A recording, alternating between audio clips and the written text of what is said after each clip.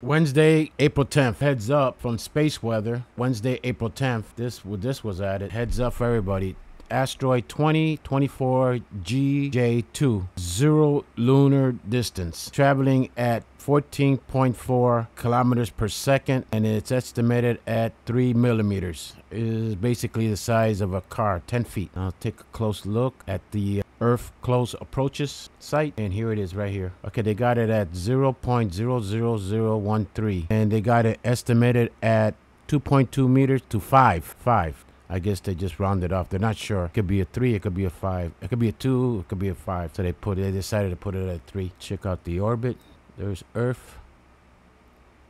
Where's the moon? Okay, here's the moon right here. So it's coming in at at 18:32 UTC time, which is 2:32 p.m. Eastern Standard Time tomorrow on Thursday Eastern Standard Time. 18,700 kilometers from the dist from Earth. Five kilometers, that'll be rounding it off, 16 feet. Okay, 16 feet, approximately the size of a, of a truck right here. This one's 17 feet, if it is five meters. So we're looking at something the size of this. Okay, as far as the mileage miles at 18,700 kilometers, which is approximately 11,000, rounding it off, 11.6 thousand miles away. Now play with the, or it comes in we got it set at every 15 minutes. So the closest it does get is 18,700 kilometers at 1832, 2.30 p.m. Eastern Standard Time. So there's the, the site. Now to give you an idea on the speed, now the speed